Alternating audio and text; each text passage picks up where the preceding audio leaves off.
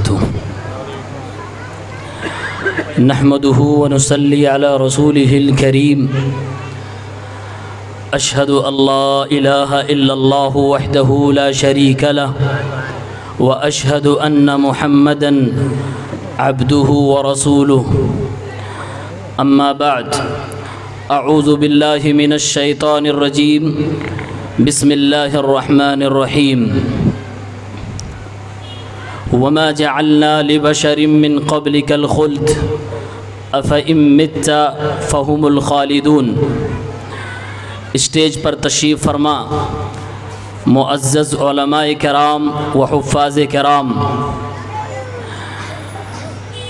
सामीन कराम इस्लामी भाइयों अज़ीज़ बच्चों नौजवान साथियों पर्दा नशीन माएँ और बहनों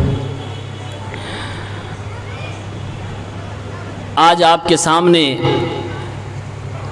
एक हकीकत बयान करने बैठा हूँ और मुझे उम्मीद है स्टेज पर तशरीफ़ फरमा, तमाम कराम मेरी इस बात से मुत्तफ़ होंगे। मैं बताने ये बैठा हूँ कि 12 रबीउल अव्वल को आज से 1400 साल पहले मदीने में क्या हुआ था? बस मैं चंद मिनट आपके लूँगा और आपको कुरान और सुन्नत की रोशनी में मुदल्लल एक हकीकत बता के जाऊँगा। आइए मैं अपनी बात की शुरुआत करता हूँ। इस दुनिया में मेरे नबी सल्लल्लाहु अलैहि वसल्लम को आए हुए तिरसठ साल तकरीबन तीन दिन गुजर चुके थे। आपकी ज़िंदगी का आखिरी दिन था। दिन सोमवार था, तारीख 12 रबीउल अव्वल की थी। सुबह फजर का वक्त है, बुखारी के पन्नों को उल्टें तो सही बुखारी किताबुल मगाजी के अंदर इमाम बुखारी रहमहुल्लाह हदीस नकल फरमाते हैं 4448 नंबर पर बयान करते हैं कि अबू बकर सिद्दीक रज़ी अल्लाह अन्हो पैगंबर इस्लाम सल्लल्लाहु अलैहि वसल्लम के मुसल्ले पर खड़े होकर इमामत करा रहे हैं। हमारे और आपके पैगंबर सल्लल्लाहु अलैहि वसल्लम बुखार की परेशानी को झेल रहे हैं। आप मुसल्ले पे ना आ सके, लेकिन जब अबू बकर सिद्दीक ने तिलावत करना शुरू की तो प्यारे पैगंबर ने अपने कमरे से, अपने गुरफे से चादर उठाई। सहाबे कराम अल्लाह के नबी वसल्लम को देखने लगे। मेरे नबी सहाबा को देख रहे हैं। अबू बकर मुसल्ले पे खड़े इमामत करा रहे हैं। अबू बकर सिद्दीक रवि अल्लाह तु को ऐसा महसूस हुआ कि हमारे नबी गोया मुसल्ले पे आकर इमामत के मनसब पे बैठना चाहते हैं, नमाज़ पढ़ाना चाहते हैं, कदम तोड़े से पीछे हुए। सहाबी कहते हैं, ऐसा लग रहा था कि मुसलमान अल्लाह के नबी वसल्लम को मुस्कुराता देखकर नमाज़ की हालत में किसी फितने में मुबतला हो जाएँगे, यानी अपनी नमाज़ खराब कर बैठेंगे। इतने में मेरे नबी ने इशारे से फरमाया अतिमु सलातकुम, अपनी नमाजें पूरी कर लो, ये सोमवार के दिन 12 रबीउल अव्वल की फजर की नमाज़ के वक्त का मैं हवाला देकर बुखारी शरीफ से बता रहा हूँ, मेरे नबी ने पर्दे गिरा दिए और प्यारे पैगंबर वसल्लम पर्दे के पीछे हो गए। उम्मतियों ने नमाज़ पढ़ी, ये तो सही बुखारी की एक हदीस हुई। उसके महान बाद चार हज़ार चार सौ उनचास नंबर की हदीस उठाए। सिद्दीक आयशा पर्दे के अंदर की बात बयान कर रही हैं। कह रही है, आयशा रज़ी अल्लाह हमारी और आपकी माँ, हमारी और आपकी माँ, आयशा सिद्दीका अब हमारे और हमारे और आपके पैगंबर सल्लल्लाहु अलैहि वसल्लम का हाल बयान कर रही है कि मैं बैठी हुई हूँ ताजदार कायनात की की गर्दन आपकी सर आपका जसद मुबारक मेरे द, मेरे बाजुओं में है मेरी गोद में है मेरा नबी मेरी गोद में मेरा शौहर मेरी गोद में है मेरे नबी बुखार की शिद्दत में इतना तड़प रहे हैं कि मेरे नबी अपनी जबान से बोल भी नहीं पा रहे हैं। इतने में अबू बकर सिद्दीक के एक बेटे अब्दुलरहमान आते हैं। अल्लाह के नबी सल्लल्लाहु अलैहि वसल्लम के पास से गुजरते हैं। हाथ में एक मिसवाक थी। मिसवाक लेकर अपने मुँह में मिसवाक कर रहे थे। मेरे रसूल की निगाह अब्दुलरहमान की उस मिसवाक की तरफ़ गई। आयशा सिद्दीका कहती है, मैंने रसूल से पूछा, अपनी गोद में लिए हुए कायनात के इमाम से पूछा, क्या आपको इसकी ज़रूरत है? मेरे नबी ने इशारे से कहा फशारा ही अन्नाम हाँ मुझे इसकी ज़रूरत है। जबान से नहीं बोल सके, क्योंकि बुखार बड़ा ज़्यादा था। इशारे से कहा, हज़रत आयशा कहती है, मैंने अपने भाई से मिसवाक मांगी, नबी के मुँह में दे दिया। मेरे रसूल वसल्लम के दांत बुखार की वजह से इतने ज़्यादा कमज़ोर हो चुके थे कि आप मिसवाक को भी नहीं कुचल सकते थे। मिसवाक आपको भारी पड़ रहा था। आयशा सिद्दीका ने कहा, ओ जनाबे मोहम्मद सल्लल्लाहु अलैहि वसल्लम, मेरे सरताज बताइए, अगर आप कहें तो मैं मिसवाक को अपने दांतों से नरम कर दूँ। आयशा सिद्दीका ने अपने दांतों से मिसवाक को नरम किया। फिर मोहम्मद अरबी को मिसवाक कराई गई। सिद्दीका आयशा अपनी आँखों से मंजर गोद में कायनात को लेकर बयान कर रही हैं। कहती है, मैं देख रही हूँ कि नबी के बगल में एक बर्तन भी रखा हुआ है, जिसमें पानी भी है। मेरे नबी पानी अपने हाथों से उठाते हैं, फिर अपने चेहरे पे मलते हैं, फिर पानी लेते हैं, फिर अपने चेहरे पे मलते हैं। ऐसे मामला चल रहा है। इतने में मोहम्मद अरबी सल्लल्लाहु अलैहि वसल्लम ने अपना हाथ आसमान की तरफ़ उठाया और यूँ दुआएँ करने लगे, अल्लाहुम्मा बिर्रफीकिल आला। सिद्दीक आयशा बयान करती है कि जबान से आवाज़ तो नहीं निकल रही थी, लेकिन आपके होठ जुम्बिश कर रहे थे। मैंने यूँ कान लगाया नबी करीम सल्लल्लाहु अलैहि वसल्लम की आवाज़ सुनने के लिए। तो मेरे कान में आवाज़ आई, अल्लाहुम्मा बिर्रफीकिल आला। अल्लाहुम्मा बिर्रफीकिल आला। अल्लाहुम्मा बिर्रफीकिल आला। और एक रिवायत में आता है कि आप कहते हैं मौत की सख्ती में मेरी मदद फरमा। आयशा बयान करती है, मेरा सरताज मेरे गोद में है, ये दुआएँ कर रहा है। इतने में हाथ ढीले पड़ जाते हैं, ज़मीन पे गिरते हैं और आपकी रूह आसमान में प्रवास कर जाती है। मेरा नबी दुनिया से चला गया। कुरान मजीद सूरह अंबिया आयत नंबर 34 में अल्लाह ने फरमाया अय मोहम्मद अरबी वसल्लम, वमा जअलना लिबशरिन मिन आपसे पहले किसी भी इंसान को हमेशा की ज़िंदगी नहीं दी है। अफइमित्ता फहुमुल खालिदून, अगर आप अल्लाह के पास वापस चले जाएँ, आपका इंतकाल हो जाए तो क्या ये दुनिया की सारी आवाम ज़िंदा रहेगी? नहीं, सबको मरना है। ये बारह रबील अव्वल को मेरे नबी सलाम का हाल था। आयशा रज़ी अल्लाह का क्या हाल था? वो भी सुन लीजिए, सही बुखारी किताबुल मगाजी में चार हज़ार चार सौ छियालीस नंबर पर रिवायत मौजूद है। हज़रत आयशा कहती हैं, मेरे सरताज मेरी गोद में है और बीमारी की हालत में है, परेशान हाल है, मैं आपकी परेशानी को देख रही हूँ। प्याले से वो पानी उठाना देख रही हूँ, मिसवाक न कुचल पाना देख रही हूँ। मेरे नबी की वो तरफ़ जो आखिरी लम्हे में मैंने देखी है, अल्लाह की कसम है, अल्लाह की कसम है। वल्लाही ला अकरहु शिद्दतल मौत लिअहदिन बादन बादन नबी सल्लल्लाहु अलैहि वसल्लम। मैं नबी की उस रूह निकलने के मंजर को देखने के बाद, दुनिया के किसी भी इंसान की मौत को मैं बुरा नहीं समझती थी। मुझे तकलीफ़ नहीं होती थी, क्योंकि मैंने अपनी गोद में सरवर कायनात को दुनिया से जाते हुए देखा था। ये आयशा सिद्दीका का बयान है, ये उम्मुल मोमिनीन का बयान है।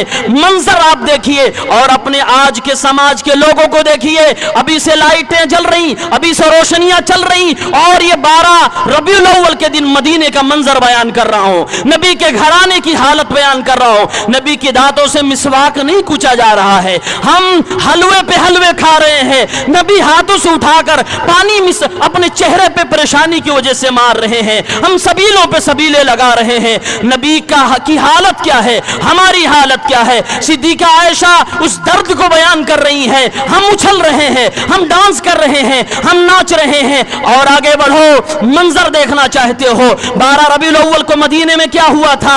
आओ फातिमत जहरा को बताता हूँ। आओ, मैं अहले बैत के चिराग की बात बतलाता हूँ। सही बुखारी उठाओ। किताबुल मगाजी उठाओ। चार हज़ार चार सौ बासठ नंबर पर रिवायत मौजूद है। जब एक बेटी ने अपने बाप को दुनिया से जाते हुए देखा, परेशानी देखी, चादर को यूँ उठाते और पलटते हुए देखा, फरमाने लगी, वाह कर बाबा हाय मेरे बाप की परेशानी, हाय मेरे बाप की परेशानी। नबी की जबान से अल्लाह के नबी वसल्लम फरमाने लगे, या, आए मेरी बेटी लईसा आला अभी की करबुन बादल यौम। आज के बाद से तेरी बेटी तेरे बाप को कोई परेशानी नहीं आने वाली है। आज जो होना है, हो जाएगा। आज के बाद से तेरा बाप हमेशा के लिए अल्लाह की नेमतों में होगा। कोई उसे तकलीफ़ नहीं दे सकता है। अल्लाह के नबी जब दुनिया से चले गए फातमत जहरा का दर्द देखो, जिसका बाप दुनिया से गया, उसका दर्द सुनो। और दुनिया के लोगों, नबी सलाम जिस दिन दुनिया से गए हैं, अपने जश्न को मनाने वाला, सुनो। मेरे नबी वसल्लम अपनी जबान से जब ये अपनी बेटी को कलिमात इरशाद फरमाते हैं और दुनिया से चले जाते हैं फातिमत जहरा ने क्या फरमाया था? फातिमत जहरा ने कहा था वह अबथा अजाबा रब्बन दआ वह अब मन जन्नतुल फिरदौसी मावा वह अब वह अब इला जिब्रील अनआ अय अब्बू जान, आपको आपके रब ने बुलाया आप चले गए। बेटी को यतीम बना दिया। आपको अल्लाह ने जन्नत की दावत दी, आपने लब्बे कह दिया। अपने अपने यारों को आपने छोड़ दिया। अरे अब्बा जान, मुझे तकलीफ़ इस बात की है कि अब जिब्राइल किसके पास आएगा?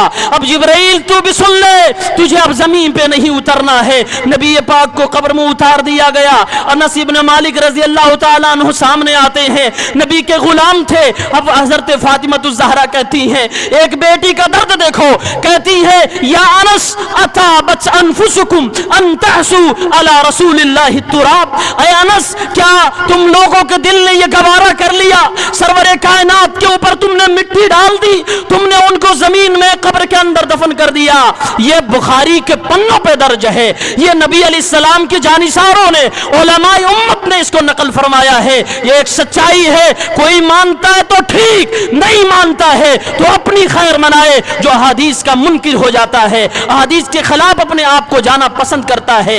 ये एक मंजर था जो फातिमा ने बयान किया रज़ी अल्लाह एक दूसरा मंजर सुनो, नबी के दाएँ हाथ, नबी के बाएँ हाथ। अबू बकर उमर की हालत क्या थी? हम सबने सुना है। उमर फारूक मोहब्बत में यह कहने लगे, जो बोलेगा कि मोहम्मद वसल्लम दुनिया से चले गए, उसके गर्दन पे मेरी तलवार चलेगी। कोई ये न कहे कि मोहम्मद चले गए हैं। ये आपकी मोहब्बत थी, या आपका जज्बा था, या आपकी जोश थी, या आप सल्लल्लाहु अलैहि वसल्लम से आपका लगाव था।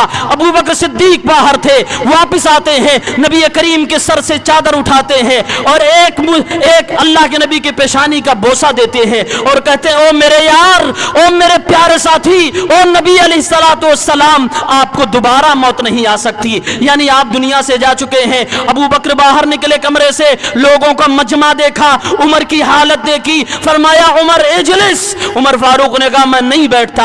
फरमाया एजलिस कहा, मैं नहीं बैठता। फरमाया एजलिस कहा, मैं नहीं बैठता। उमर फारूक की जब यह हालत अबू बकर सिद्दीक देखते हैं, मिंबर रसूल पर खड़े होते हैं और लोगों से कहते हैं, लोगों, सुनो, मन कान याबुदु मुहम्मदन फइन्न मुहम्मदन कदमात, व मन कान याबुदुल्लाह फइन्नल्लाह हय्युन ला यमूत। ऐ लोगों, सुनो सुनो, अपने होश को न खो। हमारे महबूब थे, रहेंगे, लेकिन यह मतलब तो नहीं कि एक सच्चाई का इनकार कर दिया जाए। सुनो, तुम में से जो आप वसल्लम की इबादत करता था, वो जान ले, वो बशर थे, उनको जाना था, चले गए, इंतकाल फरमा गए, और जो अल्लाह की इबादत करता था, वो जान ले कि अल्लाह रब्बुल आलमीन ज़िंदा है, उसे कभी नहीं मौत आने वाली। ये अबू बकर का अकीदा लो। अबू बकर ने क्या कहा? नबी को इंसान थे, आपको जाना था, गए। हम मुसलमान किसी इंसान की प्रस्तिश नहीं करते। हम मुसलमान किसी इंसान की इबादत नहीं करते। हमारा रब वो है वह तवक्कल अल्लाही अल्लाही ला यमूत। हम उस रब पे भरोसा करते जिसे मौत कभी नहीं आती। ये अबू बकर सिद्दीक का अकीदा है। ये अपना अकीदा बयान करते हैं। अबू बकर बगैर दलील के नहीं बात करते। कुरान की आयत सुर आल इमरान तिलावत करने लगे, वमा मोहम्मद रसूल कद खलत मिन कबल रसूल अफ इम्माता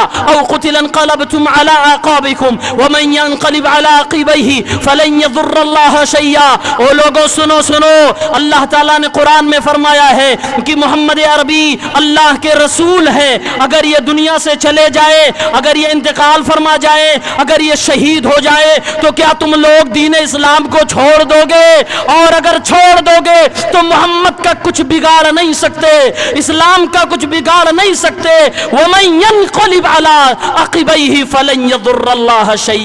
अल्लाह का कुर नहीं बिगाड़ सकते, बिगड़ेगा तुम्हारा। कि तुम मुर्तद होगे, तुम दीन इस्लाम से अपने आप को फेर के जाओगे। उमर फारूक ने जब ये आयत सुनी, अबू बकर की जबान से तिलावत सुनी, उमर फारूक कहते हैं, मैं आयत सुन के हक्का बक्का रह गया। मुझे लगा, ये आयत अभी उतर रही है। मैं देख रहा हूँ, मदीने की जिस गली में जो सहाबी गुजर रहा है, हर एक की जबान से निकल रहा है। वमा मोहम्मद रसूल। कद खलत मिन कबल रसुल।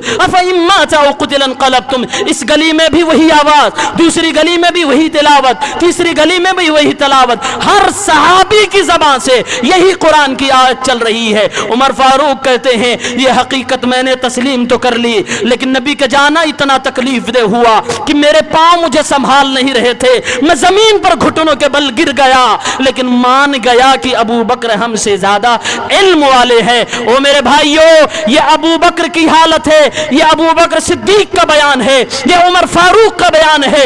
इनको तो झूठा नहीं मानोगे ना। हम तुम्हारी नज़र में अगर झूठे हैं, मानो सही। लेकिन जो बातें पेश कर रहे हैं, बबागे दोहल है, हवाले के साथ है, नकल करो और हवाला कयामत तक के लिए है। इसका आप इनकार नहीं कर सकते। एक और मंजर बयान करता हूँ। उस उस दिन मदीने की हालत थी। उस दिन मदीने का मंजर क्या था? सुनन इबन माजा के अंदर आता है। सुनस इबन मालिक, जो अल्लाह के नबी वसल्लम की दस साल खिदमत कर चुके हैं, वो मदीने का मंजर बयान कर रहे हैं। वो कहते हैं, लोगों जब हमारे पैगंबर मदीना आए थे, जब हम, गौर से सुनिए, हदीस बड़ी प्यारी है। फरमाया, लम्मा खान अलियमुल्लदी दखल अल मदीना अदा मिनहा कुल्लु शै जब रसूलुल्लाह मक्का छोड़कर मदीना आए थे, सारा मदीना रोशन हो गया था। वलम्मा खान अलियमुल्लदी मात फीही रसूलुल्लाह सल्लल्लाहु अलैहि वसल्लम।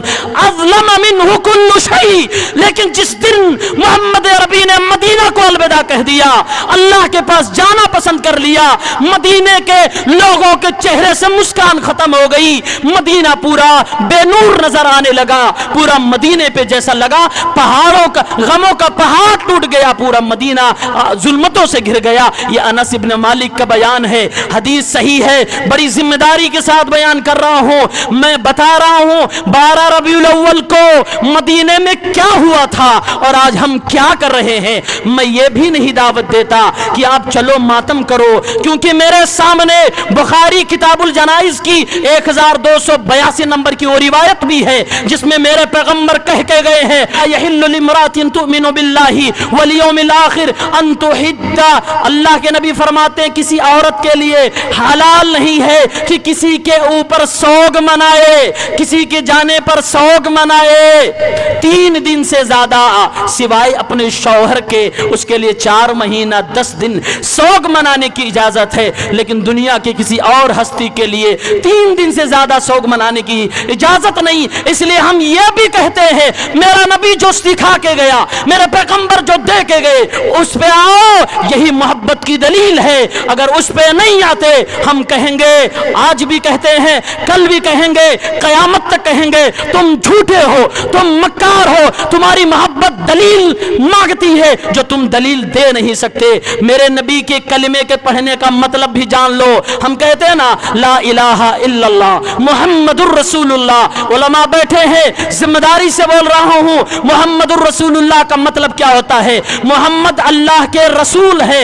जब रसूल हमने मान लिया तो फिर हमारे ऊपर ज़िम्मेदारी क्या होती है? ज़िम्मेदारी है तस्दीक फ़ी माखबर जो आपने कहा, मिनो अन माना जाए, तस्लीम किया जाए, तस्दीक की जाए वह तात फ़ी मामर और आपने जो कहा, उसे किया जाए। मेरे नबी ने मातम की इजाज़त नहीं दी, इसलिए मातम वालों के खिलाफ भी हम बोलते हैं। मेरे नबी ने इस जश्न की, बर्थडे की इजाज़त नहीं दी, इसलिए हम इनके भी खिलाफ बोलते हैं। हम कहते हैं और रसूलुल्लाह के फरमान की तरफ़, मेरे रसूल की एक हदीस दिखा दो। मेरे रसूल के यारों का एक मजमा, एक जुलूस दिखा दो। जाओ, क़यामत तक के लिए तुम्हें इजाज़त है। तुम जो करना चाहते हो करो, लेकिन ये ढकोसलेबाजी बाजियाँ न करो। ये बिला दलील इस्लाम पे चलाने की कोशिश न करो।